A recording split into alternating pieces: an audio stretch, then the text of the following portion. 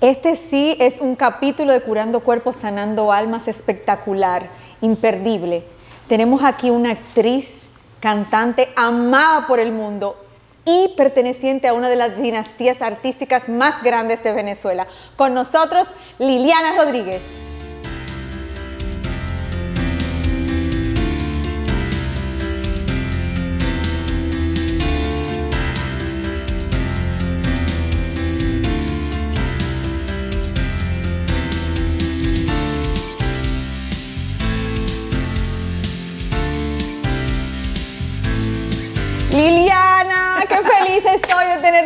Aquí. Muchísimas gracias. ¿Cómo te sientes? Muy contenta, feliz, agradecida por la invitación y lista para, para que charlemos un rato.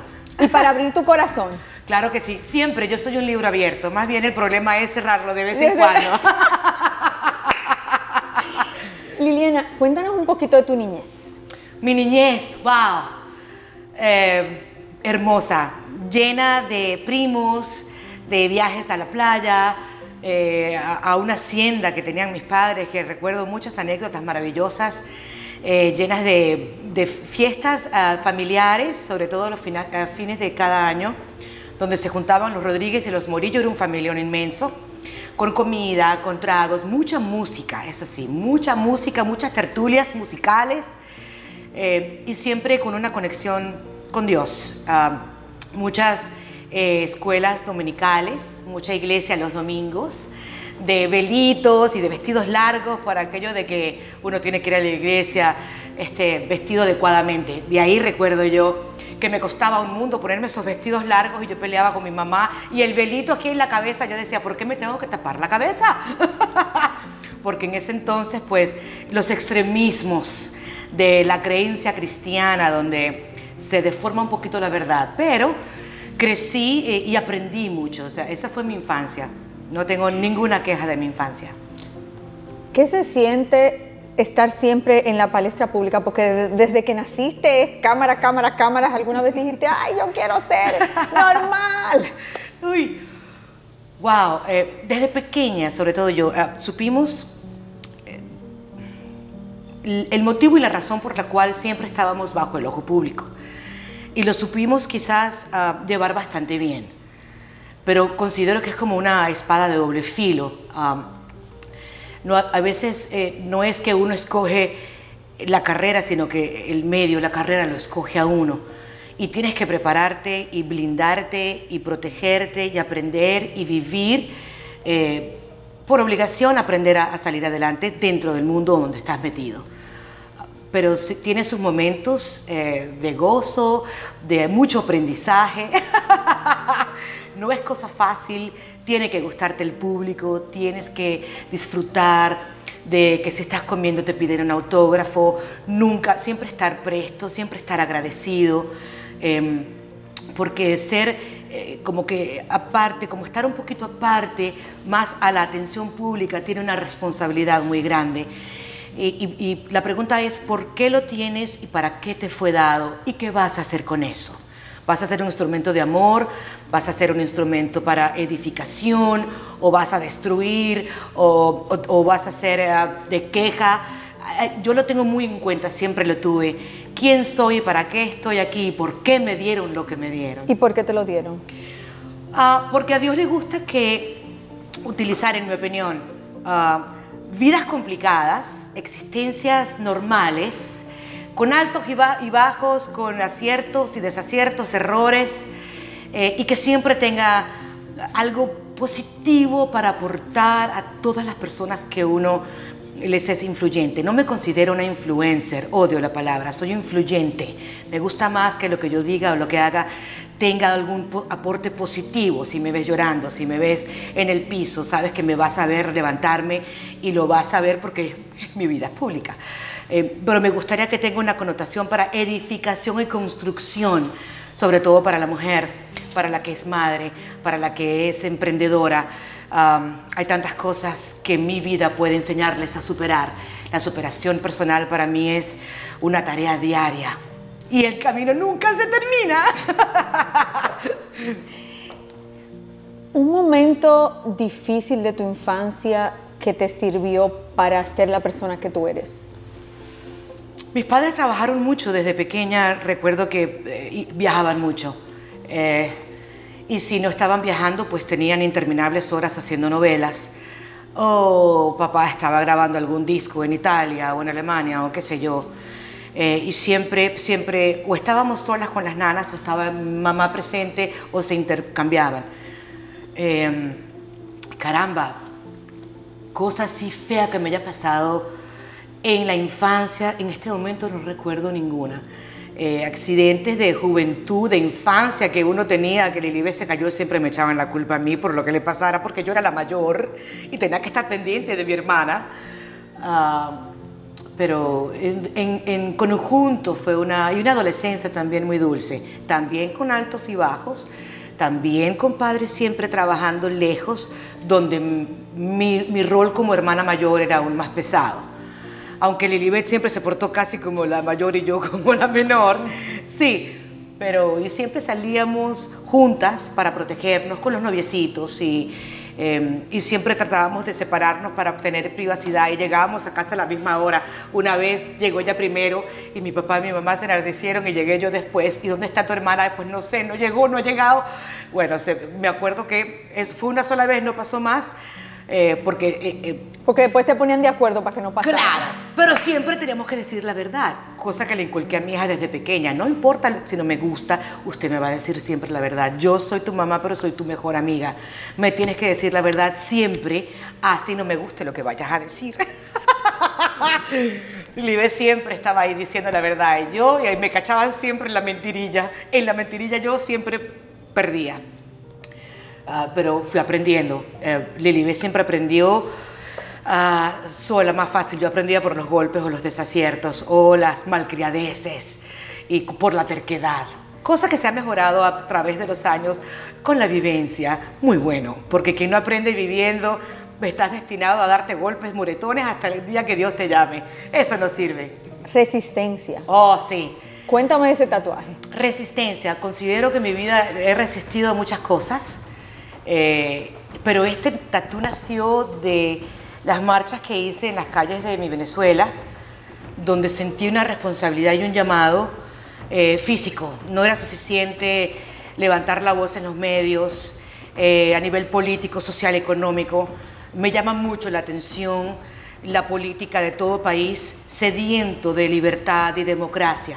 Incluyo también a los Estados Unidos, que ahora están los mismos gritos ver a mi juventud eh, tirarse a las calles, a los viejos, eh, mis jóvenes descalzos con escudos de cartón, ver a las tanquetas pasarles por arriba a la gente y a los jóvenes, a ser apresados, metidos como ganado eh, en camiones, desaparecidos por meses. Ultrajada mi gente me motivó a decir, yo tengo que ir para allá. Y tragué humo, le corrí a las motos con mi hermana Lilibet eh, no fuimos como fueron muchos con guardaespaldas y con cámaras para que grabaran todo. Fuimos eh, con cualquier otro. Eh, el, el asfalto no tiene ni nombre, ni apellido, ni tiene renglón, ni fama. Ahí vas y te arriesgas igual. Así fuimos mi hermana y yo. Y fue, cambió mi vida en lo absoluto. Vi a democracia desde otro punto de vista. Nada en la vida es gratis. Democracia tampoco lo es corrí, corrí y, me sentí como una película de terror de Freddy Krueger. Estaba corriendo por mi existencia. Yo no entendía cómo se podía correr huyéndole a los matones con un teléfono en la mano por tu vida. Eh, me marcó y me tatué resistencia en honor a todos los jóvenes, todos los caídos, todos los que aún están luchando por una mejor nación. Y me lo tatué, creo que me lo tengo que retocar ahora, por supuesto. Con los colores de la bandera. Con el tricolor. Y ahí quedó, a mucha honra y, si algún día voy a Venezuela y me dicen, ¿algún día tú pediste intervención humanitaria? Pues sí, sí la pedí y todavía la mantengo. no soy de las que hablan para atrás y para adelante. Ah, lo que es injusto es injusto y el sol no se puede tapar con un, con un dedo.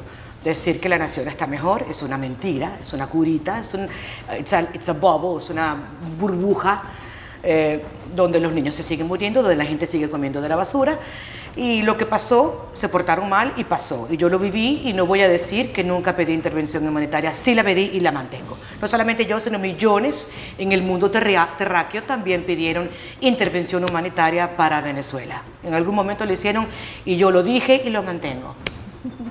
¿Qué significó para ustedes el divorcio de sus padres? Oh. Pero quiero que me lo digas en el próximo capítulo. Ok, déjame ir pensando qué voy a decir para que quede bonito. el divorcio de tus padres?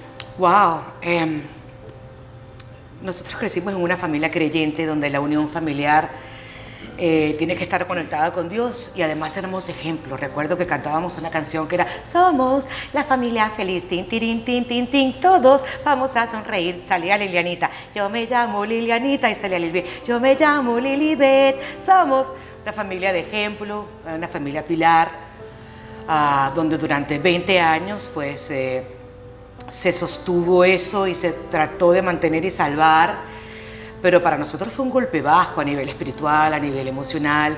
Estábamos pasando nuestra etapa de juventud, de adolescencia, donde un golpe de esa, de esa magnitud pues te deja golpeado. Ah, preguntas sin respuesta, además fue un divorcio muy público, que fue lo que a mí quizás más me pegó. Eh, no entendía cómo no se respetaba la privacidad de nadie y lo que se decía y, si mi madre sangraba por la herida y decía cualquier cosa, pues al segundo salía como un titular en una revista. Eh, y, a mí me pareció muy feo, pero sí lo supimos superar con mucha comunicación por parte de mamá, de papá también al principio. Pero fue todo muy rápido, o sea, se divorcian, el Puma tiene otra nueva pareja y de repente viene Génesis con la cual me enteré que ella estaba en estado a través del programa de Betty Pino en la radio y tuve que parar el carro así off the road para asimilar lo que estaba escuchando y decía, no, esto no puede ser verdad. Y si es verdad, ¿por qué me tengo que enterar por la radio? O sea, muchas injusticias a nivel de vida privada, sobre todo con nosotras. Pero sí lo pudimos superar con la ayuda de Dios y mucha mamá, mucha labia de madre ahí hablando y hablando y hablando y hablando y hablando. Después crecí eh, y, tuve mi hogar, me casé, tuve mi hija y yo me rehusaba a hacer una estadística más y peleé mi matrimonio por 25 años, duré casada más que Lila Morillo. Y lo, lo, trabajé y lo trabajé y lo trabajé hasta que no lo pude sostener más. También toqué fondo ahí porque me había pasado caramba lo mismo que a mis padres y caramba no pude sostener eso y caramba se me fue de las manos y tengo que empezar de nuevo otra vez pero también se supera, también se supera. Eh, es normal para cualquier mujer caer fondo y caer en subsuelo. Si no lo has hecho, prepárate porque en algún momento de tu vida te va a suceder. Se te va a romper el corazón más de una vez. Eh, lo que pensaste que lo tenías en control, pues te diste cuenta que un día dijiste, ¿qué hago yo aquí? ¿Cómo llegué yo aquí? Frase que durante mi divorcio todavía recuerdo que yo decía, medio p porque me dio por beber y perdí las coordenadas de lo que era mi identidad. Eh, yo decía, ¿cómo llegué yo por aquí? No, por, no, por no tener la misma suerte que tus padres. Eh, por permitir quizás que me pasara lo mismo. ¿Cómo llegué aquí y cómo salvo esto? ¿Cómo salgo de aquí? Que era lo que yo me preguntaba. Eh, pero sí lo logré. Con la ayuda de Dios, con la ayuda de mi madre, de mi hija, que no me faltó nunca, y salí. Me costó, no voy a decir que fue fácil, eh, porque yo me decía, entonces, si mi papá no me quiere, mi esposo de 25 años tampoco me quiere, entonces el problema soy yo. Entonces tienen razón, no valgo nada. Entonces soy una gorda que siempre se está riendo y es mentira, es una infeliz que, que tiene deficiencias y se le repite la deficiencia. Entonces, y lo peor de todo es que no podía sentarme con mi papá y decirme, ven acá, de hija a papá, ¿soy yo la del problema? Soy yo en realidad? ¿Cómo me aconsejas tú en qué falla aquí para no fallar el día de mañana? ¿Cómo rectifico yo esto? ¿Y cómo salgo y quedar normal? Quedar sana mental, emocional y espiritualmente. Sin que queden las cicatrices. Cicatrices para mí siempre quedan, pero a mucha honra porque las tengo ahí. Y, quiere decir que la herida sanó y ya cerró y, camino hacia adelante. Pero me faltaron muchas cosas para, ah, para quizás salir un poco más antes o hacerlo menos doloroso, pero tuve, mi mamá nunca me faltó, mis tíos tampoco me faltaron, ah, y nunca me faltó figura paterna en la familia en que yo dijera, y tuve que hablar mucho con Liliana, que me costó mucho, porque quedarme sola con cuarto con Liliana a veces no, no es lo más fácil. hablar con ella directamente. ah. ¿Liliana es tu mejor amiga? Eh, fue por mucho tiempo mi peor enemiga. Fui por mucho tiempo y me autosaboteé por mucho tiempo. Eh, y me perdoné y me dejé caer en un fondo sin piso donde soy así y si no te gusta bien y si no también. Dios me hizo así, eh, tengo 150 libras de más y me gusta decir las cosas sin filtro, pero si hiero tus sentimientos y te destruyo, te la tienes que calar porque así soy yo. Entonces yo me auto, me auto, me permití muchas cosas eh, por eso de que si no me quieren, pues aquí estoy y si no te gusta cómo me veo y cómo hablo, pues es tu problema y no el mío. Y son cosas que, aunque las puedes utilizar para ah, sobrevivir, que la gente nunca lo va a saber nunca. Sin embargo, es mejor decir las cosas que quieres decir sin destruir a nadie. Uy, qué difícil, pero lo puedes, lo puedes manejar, lo puedes, lo puedes lograr. Lucho Borrego lo hace.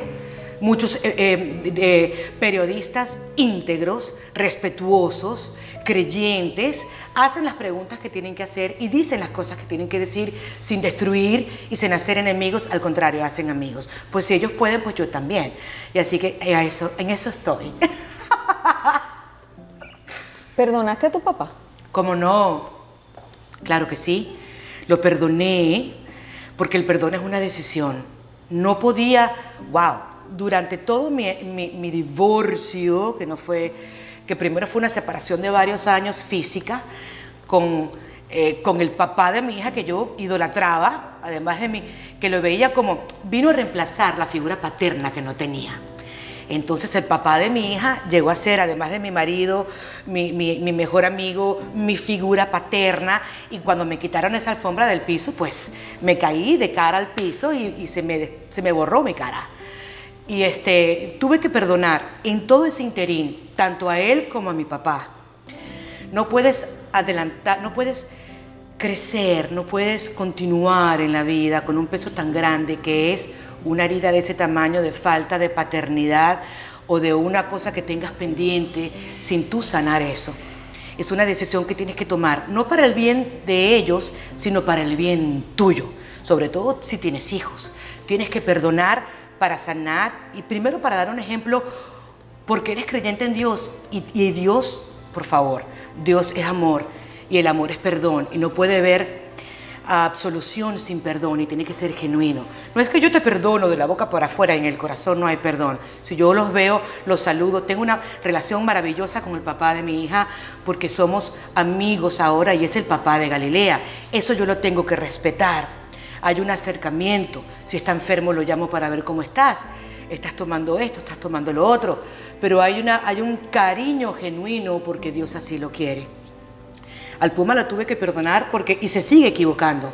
Mi tarea es que cada vez que se equivoca, tengo que ver las entrevistas y decir, wow, Puma, no has aprendido nada, todavía se te sigue viendo la costura, todavía te mencionan a tus hijas o mencionan a Lela Morillo, por ejemplo, en una plataforma venezolana y se te ve el descompuesto físico. Come on, baby. Tienes que hacerlo, así sea por tu propio bien, ya que si no te importa lo que diga Dios o no te importa el público, hazlo por ti mismo, hazlo por el puma, que quede bonito el puma, hazlo jocoso, simple, agradable, sin que ponerte a la defensiva. Hay tantas cosas que pudiera decirle yo a ese señor si lo tuviera enfrente, pero no tengo acceso. Si tú lo tienes en algún momento, ¿Qué, qué mensaje le mandarías? por favor, light, bonito. Eh, sé que todavía te pullan porque te dejas pullar porque se te ve la costura. Sería mucho más fácil en una entrevista o en una rueda de prensa, si hablan de tus hijas, tus dos primeras hijas, fueras agradable, eh, sincero, bonito. Así sea, tú eres buen actor, lo puedes lograr, porque le conviene al puma. Así no lo sientas. Eh, tu problema con Dios es tuyo personal. Y si no nos quieres, pues se te respeta. Eso se respeta, pero eso sí, eso es tu cuenta personal con Dios, no con nosotros. Nosotros estamos bien, somos felices, somos completas y ya pasamos la página hace rato. Pero sí, necesitas o te conviene tener una buena posición con lo que es la prensa, los medios de comunicación. Y creo que te dejas de pullar si tú dejas de mostrar la costura, si te muestras agradable, eh, jocoso. Eh, decir, por ejemplo, Venezuela es de las Murillo, tanto de Lila, pero también adoran al Puma. Y sé que mi, mi público va a estar ahí, igual como están para ellas. Hay público para todo, como decía Celia, eh, hay cama para todo el mundo, hay cama para tanta gente, claro que sí. Si respondieras de esa manera, bravo. Se nota que no te molesta. Pero decir, eso viene por ahí y eso, eso lo vamos a arreglar personalmente. Hello, difícil fuera si lo vas a arreglar ah, por, por, telepatía. Qué estupidez. Ahora esa es la línea que tienen ahora de moda Génesis y el Puma. Eso lo vamos a arreglar en, en persona. En espíritu dudo mucho que se haga. O por telepatía. Tiene que haber una provocación física para que ese perdón se haga. Esa es mi petición. Y tiene que ser de la cabeza. La cabeza de la familia es el señor José Luis Rodríguez, el Puma. Ya nosotros, tanto Lilibet como Liliana, lo han, provocado bastante. Ya hemos eh, puesto la segunda, la otra mejilla, ya hemos hecho de acuerdo a Dios y nuestros principios todo lo humanamente posible. Ya hay que dejar a Dios ser Dios. ¿Qué me queda por decir? Wow. consideramos que, y le deseamos bien, en esta presentación que tuvo en Venezuela, hablé con varios periodistas y les, dije, les pedí que lo aconsejaran bonito, orándole al Padre de que tuviera una aceptación bonita en Venezuela con su público, que es de él también, eh, y que tuviera una sala llena, porque hay que orar, fácil es orar por los que nos quieren, Difícil es orar por los que los desprecian y, los consideran enemigos. Esa es la tarea que Dios nos pide. Y es ahí donde tienes que crucificar tu carne, que lo que quieres es sacar sapos y culebras en vez de sacar una bendición. Y eso es lo que mueve montañas. Eso es lo que te hace caminar sobre el agua como lo hizo Jesucristo. Eso es lo que nos hace resucitar muertos. A nivel personal y emotivo, ya nosotros fuimos a ese velorio y a ese, ese entierro hace tiempo ya el, Puma o el José Luis Rodríguez que conocíamos porque ya no lo conocemos, ya murió y lo enterramos. Ya el ser que está ahorita es otro ser humano completamente diferente. El otro día me preguntaron, tú debes saber cómo respondería a tu papá porque tú lo conoces. No, perdón, no lo conozco. Ya no lo conozco y no hay espacio, o sea, eh, no por nosotros, sino porque no, no lo han provocado para reconectar. Sería mentira, sería yo una mentirosa si yo dijera que yo lo conozco, ya no lo conozco.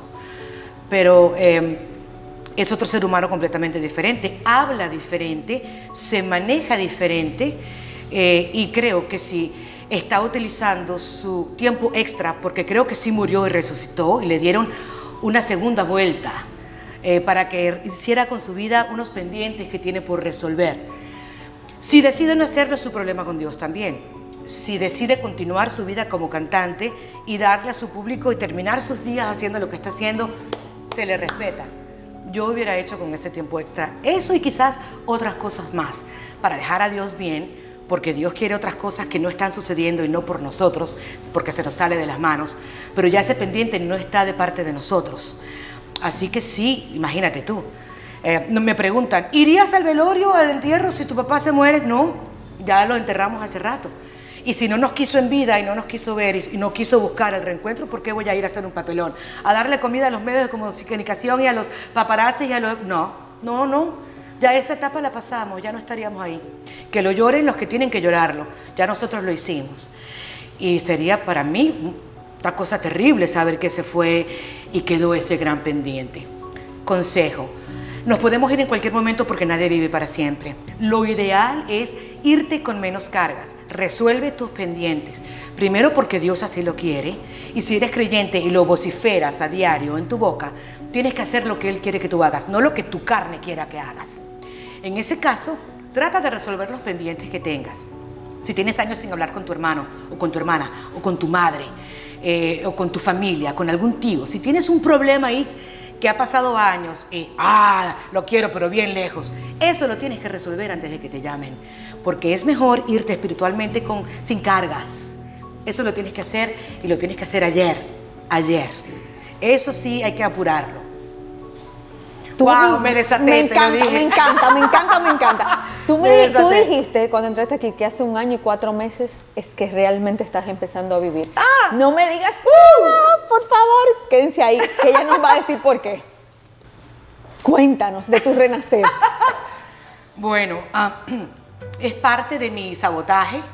Pasé muchos años dedicada a, a, la pobrecita yo, pobrecita yo, y eso me dio permiso pues a abandonar a Liliana y a dejarla en, pico, en caída libre, hasta que tocara fondo, a nivel físico, a nivel emocional, a beber de más y a fumar de más y a dejarme engordar de una manera desbordada que no pude controlarlo. Hice todas las dietas a viaje por ahí. Yo sufría para vestirme en una tarima, era un parto, tenía que taparme los mondongos, eh, eh, todo. Eh, yo siempre fui una mujer muy coqueta y muy segura de mi personalidad, inclusive después que parí, eh, eh, me, obligué a, tratar de, llegar al peso que tenía y a la figura que tenía antes. Nunca me he quitado el sueño en realidad. Yo soy muy contenta con quien yo soy toda la vida. Y quizás eso pues me hizo algo diferente. En los medios de televisión no tenía que hablar con acento neutro y tampoco tenía que pesar 40 libras. Y entonces eso me daba como permiso hacer papeles de novelas, programas de televisión, de, como conductora, como comediante, como lo que fuere. Y pues mi físico me ayudaba a eso, aunado y apoyado por una personalidad eh, muy estable y muy definida, que tenían que ponerse los pantalones los demás para poderme llegar más o menos al lado.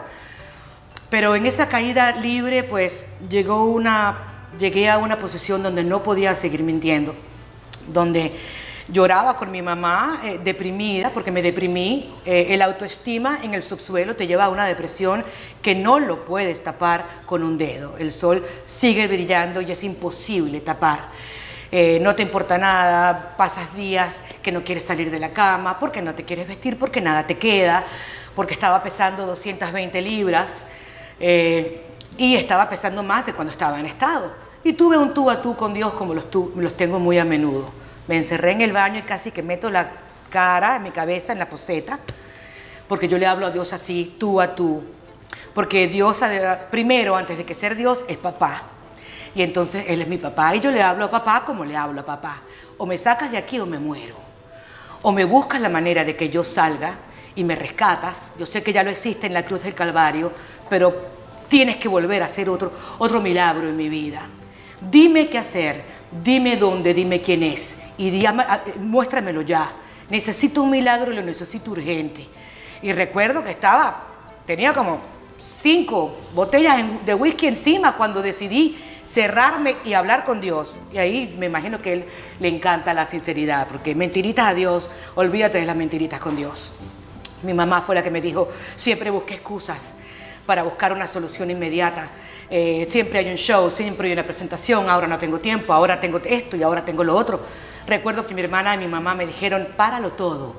En este momento no puedes hacer una presentación musical, no puedes presentarte así en una tarima, tu público no se lo merece, no puedes.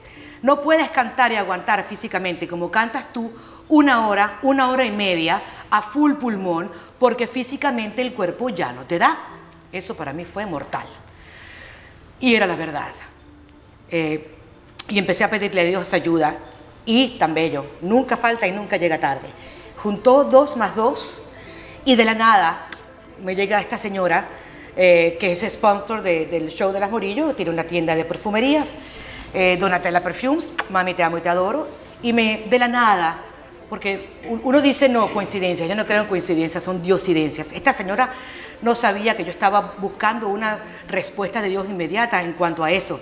Ella simplemente se acercó y como yo siempre he sido una gordita feliz que siempre se está riendo, pues nadie se le ocurrió que yo estaba suicida. Eh, y ella me empezó a mostrar, mira cómo era mi hija antes, mírala ahora. Una cosa así y una cosa así. Mira cómo era mi marido, míralo ahora. Mira cómo eran mis hijos, mira cómo es ahora. Y, y yo estoy, ahora voy yo y me voy a operar con tal doctor. Dime quién es, dónde lo consigo. Yo hice mi tarea, eh, hice mi research porque me gusta averiguar y me vi con otros doctores que me querían quitar los dos ojos de mi cara por hacerme una mini manga gástrica para cambiar de un momento a otro mi vida. Y me vi con el doctor de, ¿cómo se llama esta mujer de Univisión? Eh, de pelito cortito, papi. Antonieta Collins, déspota, grosero eh, tiene mucho que aprender este, eh, en, etiqueta y en toque humano a nivel de doctor. tiene el llamado equivocado. Se lo pueden poner de mi parte, lo puedo repetir. Me vi con otros dos, eh, me hizo llorar, me recuerdo, y mi mamá, mi mamá decía, vámonos de aquí, hija, esto no es el doctor indicado. Salimos corriendo. Me vi con otros dos más, donde era prácticamente económicamente inaccesible y no hubo química con, eh, entre el doctor y Liliana. Y dije, aquí no es, aquí tampoco es, aquí no es. Llego y me veo con doctor Ronald Moore. Me encerré con él en su oficina como dos horas. Lloré y le conté toda la historia de mi vida desde que tenía tres años, que siempre fui gordita, pasando por toda mi vida hasta el día de hoy. Me acuerdo que me traían agua, mi hermana Lilibet me acompañó y el doctor tan bello me decía en inglés, don't worry about it, I am going to help you. Yo lloraba, o sea, a mí no me importó nada, no tenía nada que perder. Y en ese interín, pues me decidí, la decisión la tomé en mi interior. Cuando supe eh, la conexión entre este doctor maravilloso y yo, dije, este sí es. Sácame Esto fecha tú ya. adivina que eso porque no nos conocía en República Dominicana. No, porque yo, seguramente. Mi esposo es cirujano bariátrico, el Sí. doctor Pablo García. Bueno, a mí me, me ofrecieron eh, eh, la operación por intercambio varios doctores en Venezuela, uno en Colombia, hice un Zoom con él y yo eh, durante hubo la entrevista... Esto es importantísimo, el match. No hubo un match emocional, espiritual, porque yo necesitaba ese, esa, ese ok, esa, Esa luz verde de parte claro. de Dios. No le quito el crédito a ninguno de los doctores, hay doctores maravillosos. Yo simplemente fui con el que, con el que me identifiqué a nivel humano, a nivel mujer, Claro. eh, con el que hubo un clic, no solamente con él, sino con el staff de la, de la- de la clínica, donde inmediatamente dije, ¿dónde, qué día, qué, qué día voy? Recuerdo que Lilibe no pudo estar presente, pero estuvo mi madre durante toda la cirugía, que fue, ¿qué? 20, 25 minutos. Sí. Es una tontería en realidad. Sí, menos de una hora. Es- ¿De qué me arrepiento hoy en día de no hacérmela antes? Antes. En año y medio tengo un cuerpo totalmente diferente. Mi energía fue del piso hasta el techo. Mi autoestima es otra cosa. Mi vida sexual no les puedo contar. Ahora estoy disfrutando de mi cuerpo como lo hice cuando tenía 20, 25 años, donde me podía poner las cosas más cortitas y, y como, como por ejemplo esto, que tenía años cuando llegué, yo decía, esto es muy corto, pero ya tengo 55 años, pues, ¿qué me importa? Hoy me siento tan libre y tan segura de mí que eh, es tan importante que la mujer, sobre todo cuando tiene varios años de casada, el primero que te va a decir que no te hagas nada es tu marido. Y cuando tú lo necesitas más, cuando tienes ya la necesidad de dormir semisentada, porque ya el cuerpo no te da con la acidez, ya con la ronquera, ya no puedes dormir en paz, cuando la ropa no te queda, cuando eres una mujer infeliz y tienes que atender a tu marido y tienes que atender a tus hijos y ya, y ya tu vida, la calidad de tu vida ya se fue para el subsuelo. Es de decir, voy a parar esto aquí y voy a hacer algo por mí. La decisión la tienes que tomar tú por ti. Soy, eh, nací de nuevo. Yo siempre digo, nací espiritualmente hace mucho tiempo, nací de nuevo espiritualmente porque lo tienes que hacer. Y nací físicamente de nuevo, lo digo con todo el amor y toda la verdad, hace un año y cuatro meses. Nací de nuevo. Lilianita tiene una, otra fecha de nacimiento. Bravo, bravo. Qué bella, qué bella. Yo, este, esto se llama Curando Cuerpos, Sanando Almas. Sí, Pero yo soy cirujana plástica. Sí. ¿Te has hecho alguna cirugía plástica? Me hice, honestamente, varias liposucciones que las perdí todas, porque yo veía eh, el, el cambio inmediato, eh, y, eh, pero el cuerpo, el- la mente tiene memoria. Entonces, si no te cuidas y te, y te sacrificas y, no- y- y no, y no estás encima de la, de, la, de la nueva figura que te hicieron, pues la vas a perder. Tarde o temprano la vas a perder y yo perdí todas las que me hice. Y y fueron dos o tres. Eh, y las perdí todas. Y mi cara no tiene absolutamente nada, la gente piensa que esta nariz está alterada, no, esto es morillo, 100%, una nariz pequeña, si fuera Rodríguez fuera un poquito más isleña, Am, el Puma sí se la arregló, eh, no le cambió mucho su capacidad vocal, por eso es que Barbara Streisand no se va a operar nunca su nariz porque le cambia la resonancia de su voz para cantar. Eh, Lila Morillo tampoco se ha hecho nada en su nariz, eso es una nariz, nariz morillo bozo, chiquitas, muy, de- muy, de- muy delicadas ellas. Pero la boca es otra cosa. la boca y la nariz otra cosa diferente. A ver, otras cirugías no me he hecho en realidad nada. Los senos sí me los hice, eh, me los tengo que volver a arreglar porque ya con la pérdida de peso tan abrumante, pues hay que hacer ciertos retoquitos que pienso hacérmelos más adelante cuando ya... Cuando en República Dominicana, más adelante. Cuando busque el lugar y encuentre el lugar, que haga clic de nuevo. Eh, y lo voy a hacer claro. No tengo nada en contra de las cirugías, no, no tengo nada en contra de eso. Es más, en esto tan exigente, en el mundo en que yo me desenvuelvo, pues uno tiene que estar encima de uno. Y hay que envejecer con dignidad, como dice mi Santa Madre Lila Morillo, hay que envejecer, la, la vejez nos va a llegar a todos, pero hay que hacerlo con dignidad, llegar bonitos llegar completos y hay que hacerlo. Igual si te, eh, por uno, si te falta un diente, póntelo. Si te, tienes, si te tienes que hacer una cirugía, háztela. Si te tienes que hacer la banguita más gástrica, hágasela. Eh, si tienes que buscarte novio nuevo, marido nuevo, hágalo, no sufra. Bote el que si no sirve, bótelo y se consigue uno nuevo. Para eso está la vida y, y la vida es corta y va pasando rápido. ¿Qué más te puedo decir? Esa sería la recomendación que le darías a todos. Que vivan la vida al máximo hay que vivir la vida máximo como si nos fuéramos mañana, pero eh, cada minuto cuenta, no, este, no de menos, sino de más. Eh, eso no importa. Mi hermana siempre me corrigió porque a mí me gustaba mucho decir, it doesn't matter, eso no importa. Y me, decía, me dice mi hermana hasta el día de hoy, no, sí importa. Y como nos vamos a ir, ahora importa más. Sí importa y todo tiene importancia, todo. Lo que dices, cómo lo dices, lo que no dices, lo que dejas de hacer, lo que haces, lo que no haces, cómo lo haces. Ah, las acciones pesan más y hablan más duro que las palabras. Dios eh, fue un Dios de acción.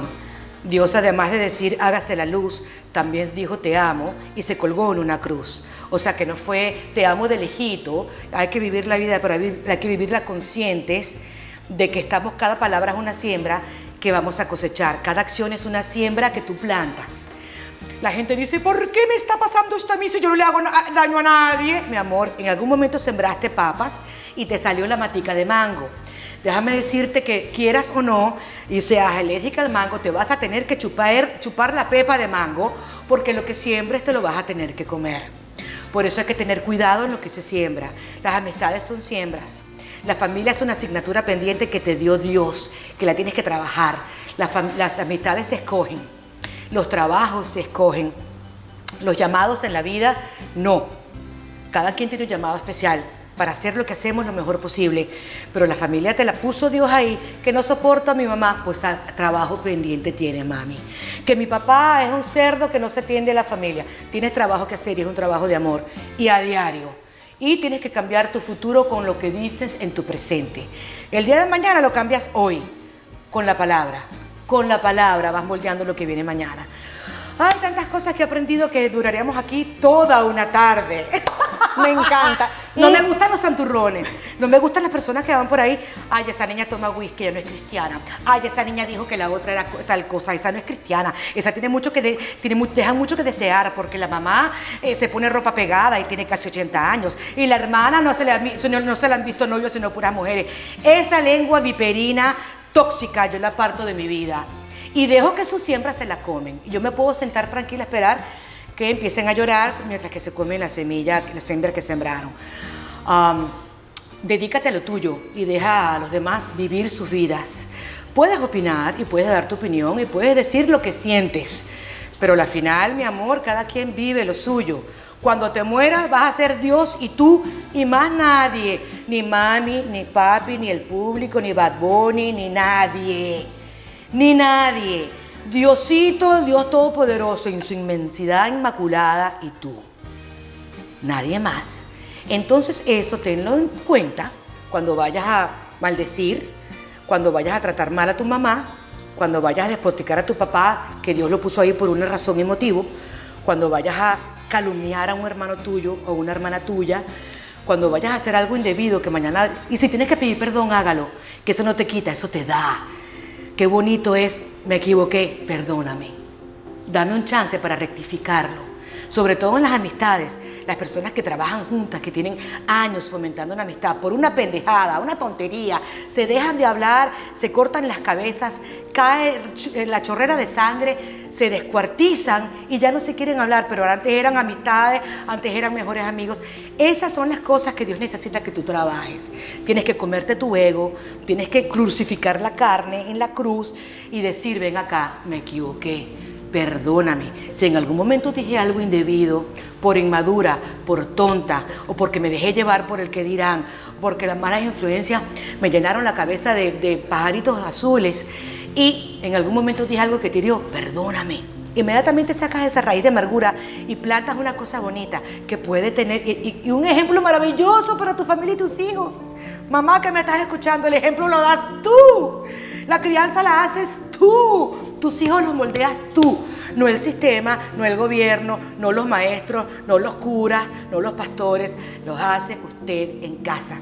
Principios, pequeñas cositas que haces a diario, que tus hijos dicen, ay, esto no me... Pero a mí en la escuela me dicen otra cosa. No, pero esto es lo que yo estoy diciendo yo a ti.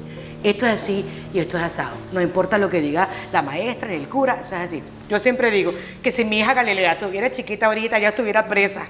Ya yo estuviera presa porque si a mí me le llega a decir a mi hija, una maestra, que ella no es niña y que puede ser niño y que no tiene su sexualidad marcada, yo voy a, yo voy a la escuela, la agarro por el cabello, le doy tres trompones y que me llamen a la policía y me metan presa. Ahí quedó listo, quedó hecho, quedó gracias a Dios que ya crié y gloria a Dios que me dio la sabiduría para criar bíblicamente en la palabra de Dios y con principios. Humana es un embrión hermoso y mujer 100%. Pero qué difícil criar hoy, qué difícil para los padres. Conéctense con Dios porque la guerra afuera está candela.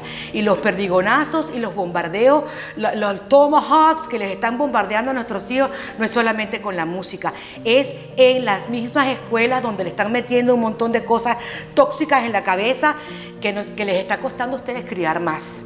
¿Y cómo hago, Liliana? Sí, busca de Dios, pide, eh, eh, sabiduría a Dios para ver cómo vas a llevar a tus hijos con la inclinación que tengan, pero que la crianza venga de casa, porque no nadie los conoce mejores que ustedes, que son sus padres.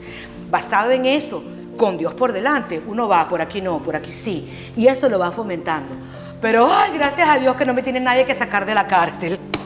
Qué bella Liliana, muchísimas gracias. Y yo quiero terminar este curando cuerpos, sanando almas de una manera diferente. Amén. Yo quiero que tú me cantes un poquito. Ay, que te cante un poquito. Así vamos a cerrar hoy. Ay, ahí cerramos. Una canción de Lila Morillo. Bueno, todas me encantan porque a mí me encanta cantarle a la mujer. Pero hay que no sé, esta, siempre lo digo en tarima. La mujer que no haya llorado lágrimas negras es una mentirosa. Y aún con el rímel de ese anti, antiagua, de la antillloradera, las lágrimas negras corren siempre. Eh, y eso nos hace más mujeres. Eh, un corazón roto habla maravillas de todas, las, de todas nosotras. Y esta va para ti, mujer, eh, que tienes el corazón roto. Eso tienes que sanarlo rápido y para adelante, para arriba, con todo. Aunque tú me hayas dejado en el abandono. Aunque tú has muerto todas mis ilusiones y en vez de maldecirte con justo encono, en mis sueños te colmo, en mis sueños te colmo de bendiciones. Sigo. ¿Ya? Esto es tuyo. Gracias. Gracias, gracias.